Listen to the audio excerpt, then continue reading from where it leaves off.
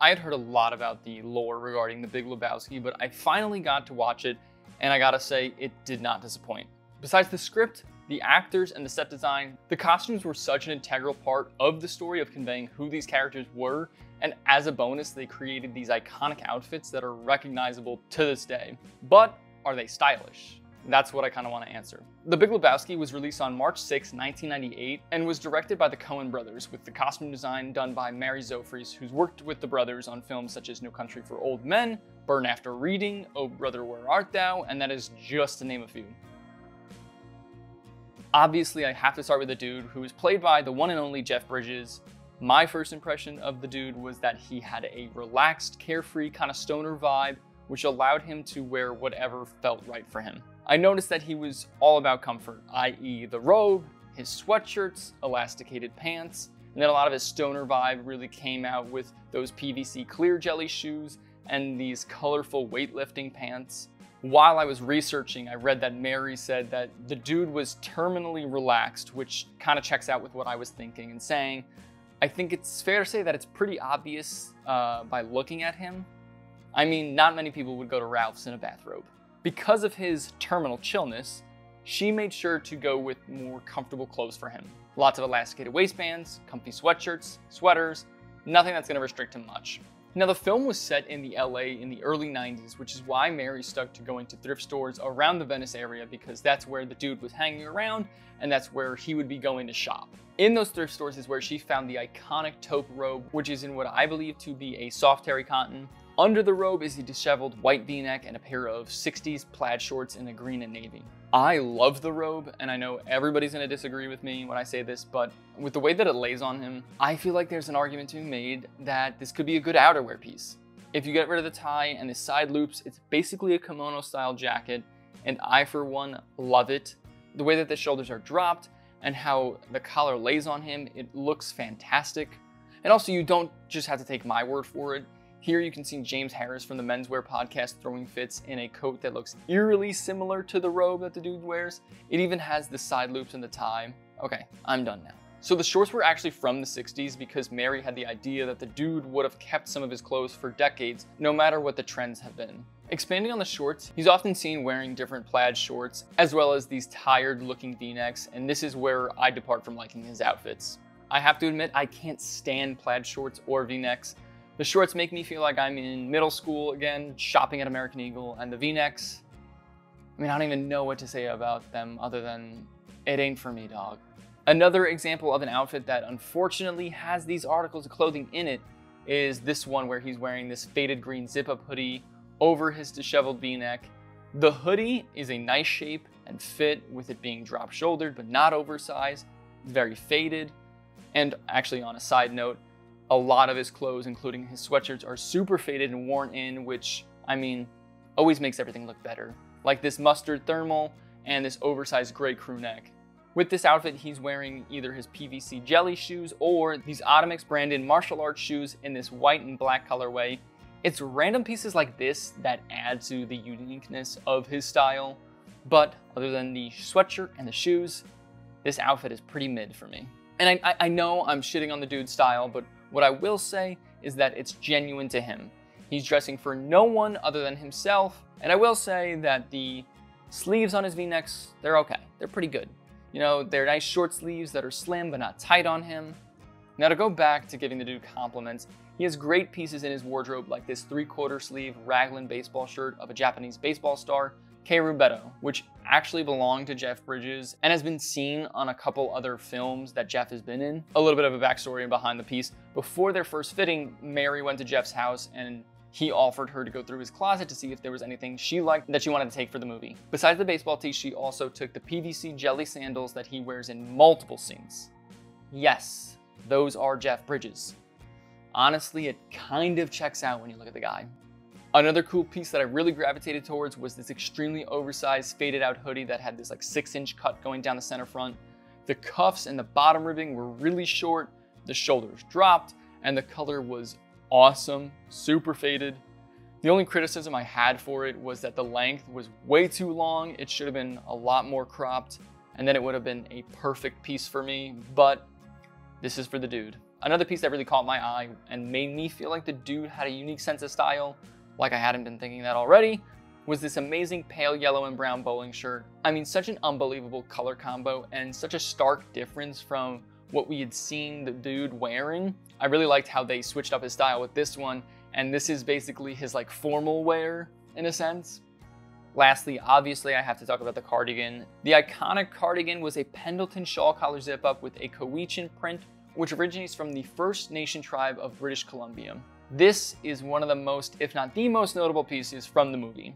It's in a light beige colorway with a light brown and black pattern. The cardigan looks effortlessly good on him, both because of the garment's relaxed shape as well as it perfectly matching the attitude of the dude. Personally, my favorite outfit with this cardigan was with the pale green pants and his white v-neck.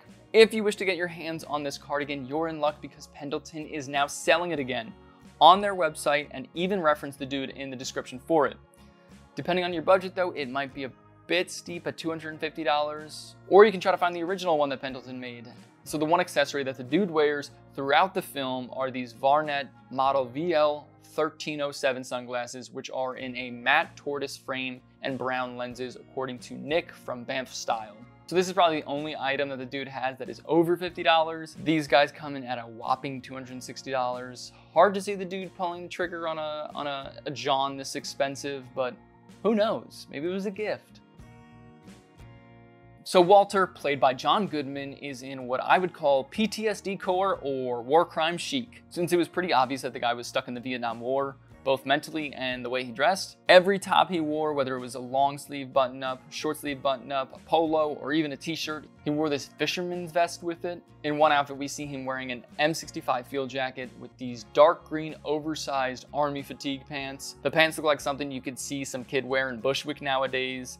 And then on feet, he's got a pair of Converse. I love the tonal colors with this one and kind of like the shape of everything I thought was very awesome. We also see him wearing Vietnam era jungle boots with cargo shorts. I don't know how, but it works so well on him, it almost makes me want to wear shorts and I like refuse to do so normally. For the top portion of this outfit, he had a black polo with, you guessed it, his fisherman's vest. This outfit was a home run for me personally. The high boots and shorts look is kind of in right now in Brooklyn, and uh, it looks so natural on him. I love like this mixture of military wear with like middle-aged man core. So just like the dude, one thing that stays pretty consistent are these yellow tinted aviators that he has on. These were also most likely coming from his days in the war. They looked so badass and fit his vibe like perfectly. Honestly, I probably like them so much because my first memorable encounter with these types of sunglasses was with Hunter S. Thompson in them and Boy, was that guy an interesting character. One day I will break down his style. Spoiler, I loved it. Anyway, back to Walter. I loved his military outfits, and that's most likely due to my love for military clothing. I love seeing people have their influences shown on their sleeves, and quite literally in this case. Oh, Donny. Good old Donny. Love that guy. When I first looked at Donny, played by Steve Buscemi, I immediately clocked in that this guy must have had like a, a retro 50s type of influence with his bowling shirts and straight leg pants. Donny had such an amazing array of bowling shirts with some revered collars, others with regular shirt collars, and they were all in different colors and had nice chain stitching details on them. And I thought he had some of the coolest shirts in the film. One of my favorite outfits of his was this gray convertible collar bowling shirt that had these red accents at the collar, the stitching, and the back gussets, and that was paired with some green twill slacks. Now, both the pants and shirt are relaxed on him, making him swim in them, and I think they did that deliberately. I don't really think it was supposed to fit perfectly on him, because he gets pushed around by Walter and his clothes are like engulfing him and making him look smaller, emphasizing his meekness. But even with all that said, he still looks so good. And other than the shirts, the only other piece we see him in is this blue fold over collar zip up jacket that hits right below his hips and is very slouchy on him, just like the rest of his tops. It's no doubt that Donny is the king when it comes to bowling shirts. I don't think anybody can dispute that. Now, these three weren't the only guys who had some great and iconic outfits in the film. I want to go through some of the minor characters that need a light shined on them. There was Jesus with his 70s inspired jumpsuits. This purple one with a red slash maroon side stripe on it is insane. If you remove the character from the outfit, it makes it even better. The matching crop jacket with the maroon stripe on the shoulder and sleeve was such a nice touch. I loved the jacket and how it matched. It looked great. I also love how the pants flared out a little bit at the bottom. Other than his purple jumpsuit, he also had this sea foam, like deep blue jumpsuit with a light blue stripe on the side. And this one is nice, but I still think that purple one just pops way better. There's also Maud with her velvet green floor-length shawl collar coat that engulfs her, but in the best way. Zophres said that the coat was based off a leopard shawl collar robe, but they didn't think it was regal enough, so they used this vintage green velvet fabric to make their version. Awesome to know that's a custom piece because it's so gorgeous. And then there's her father, Mr. Lebowski, not to get confused with the dude. For the most part, I really don't care about his wardrobe, except in this one scene where he's wearing an extremely oversized oatmeal shawl collar cardigan with these exaggerated drop shoulders and a deep plunging shawl collar. I actually like how the plaid blanket kind of matched nicely with the cardigan. It was a great combo. I think that they made this change with Mr. Lebowski to kind of like foreshadow that he and the dude are a lot similar than Mr. Lebowski likes to lead on. He's not some millionaire. He doesn't even have money because he's so poor at business, according to his daughter. I thought doing that was actually a really nice touch. I also love the Nihilists with their skin-tight pants and monochromatic black outfits. Their last scene with them all decked out in leather, whether it was their skinny jeans or leather jackets, it all looked so good. It screamed like German rave mixed with biker culture to me, and I thought it was awesome. And then there was obviously the stranger with his Western attire. I can't get enough of the Western style button up. Plus, that leather shawl vest they gave him was phenomenal.